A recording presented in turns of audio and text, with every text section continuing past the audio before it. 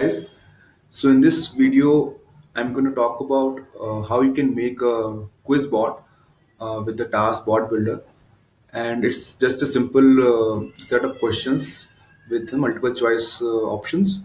And uh, one of them one of the choices will be the correct answer.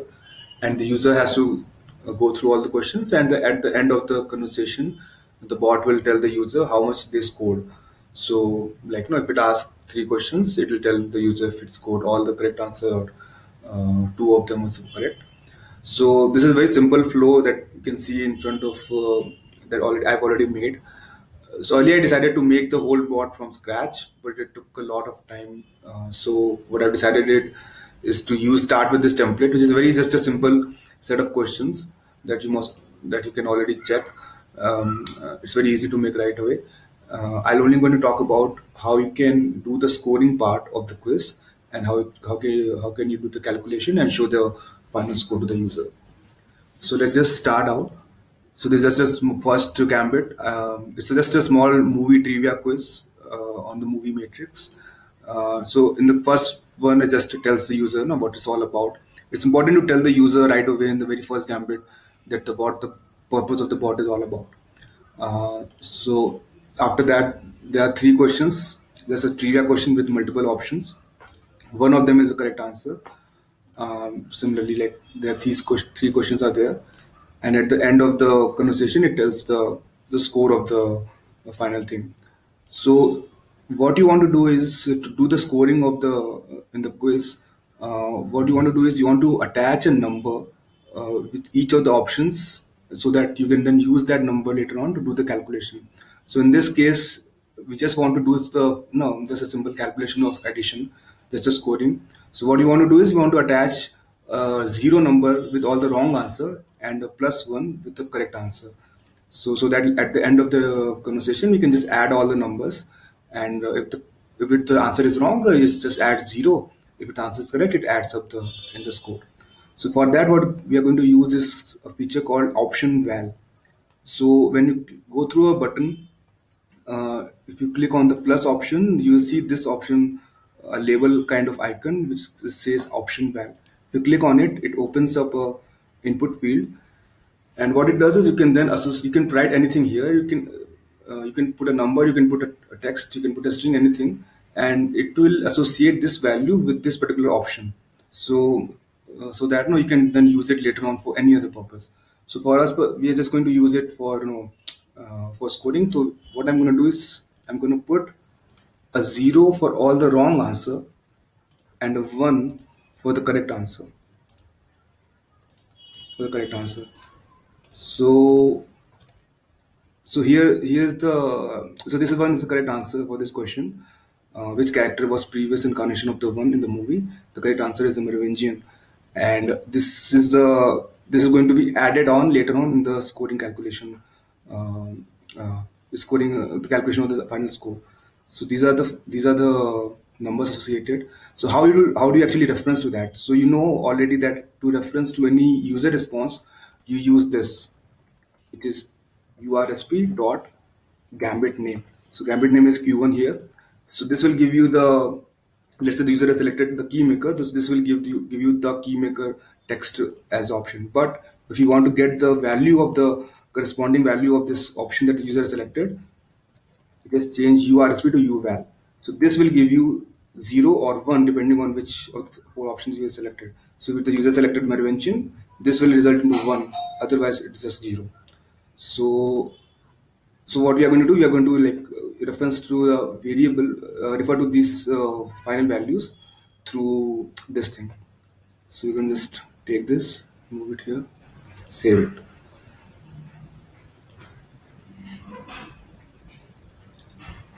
similarly we are going to add zero all the wrong answer and one to the correct answer.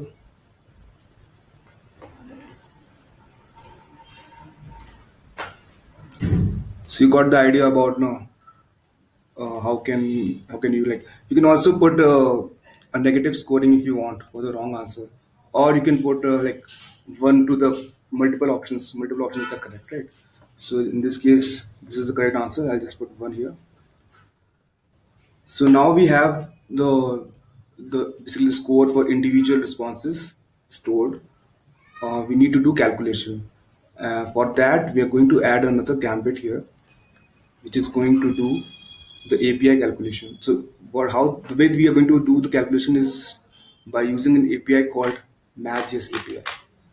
So just search for you know math JS API. It will give you the first result as this. And if you look into the, the actual documentation of it, it's just a very simple API. Uh, you just pass in the expression that you want to calculate, and it results in the uh, the final final result of the final calculation of it. So let's just call it score calculation. Set the API. We don't need any messages, so remove that. Save it.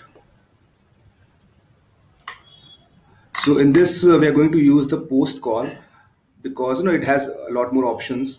Although we are not going to use this um, any options, any much options, you know, in this particular example, but uh, uh, with this uh, post option, you can do a lot many things. So right, you can see here, you can set variables, and then you can use that variable in, the, in another expression and all. So you can do multiple stage calculation with this kind of API.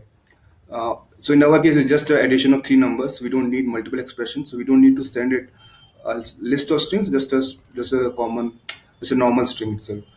So we're going to use this API endpoint and this is a post method, remember. So here we are going to set post, set the API endpoint here. Now we need to make a expression, which is just, a, so let's just try it out. Let's just uh, so you can see this is a data format, is a JSON data format. So we are going to select data body here, select raw and select JSON, which is a normal, this is the default values. We are going to use the same format that the API explained, which is EXPR, which is a string and colon the expression that you want to calculate. So for example, if you want to see, just to test it out, how uh, this works. We're going to do this. So it gave me the result. 12 plus 4 plus 9 which is 21 so you can see the result is here. Uh, now in order to reference to this variable you know how you can use this. The way to refer to this variable is p which is the api which is the data scope for api responses p dot the name of the gambit which is this. This result into the this will give me the whole result the whole uh, the API response. And we want this particular value so just do this dot result. This will give me the actual value the actual final calculation of this. So we just copy that remove this and save it.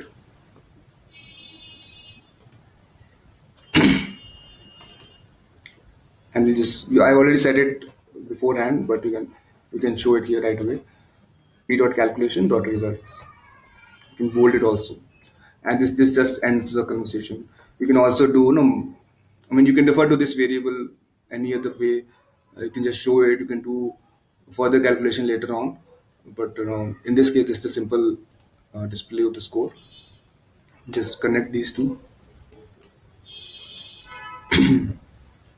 Now we only need to do is need to replace these values with uval dot q1 q2 and q3 so this is the same values like 0 1 or, or 0 1 value basically. So these will give me the response for these three. So you just note that no uh, just make sure that these uh, this expression is uh, proper otherwise the json format this is json format and if it raises some issue you know, in the syntax, the API response uh, will not go through. So just make sure this double quote is used. You're using the double quote in EXPR. Use the call colon, and again double quote in this expression. No any other comma, nothing, and these are the cases. So just make sure that this format is correct. Just save it, deploy, test it out.